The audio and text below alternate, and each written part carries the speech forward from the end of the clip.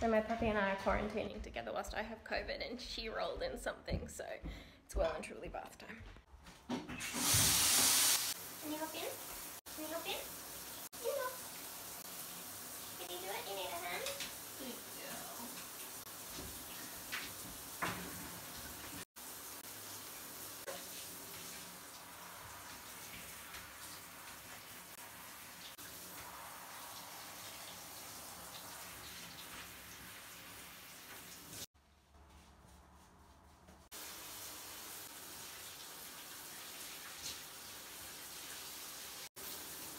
How are you still bubbly?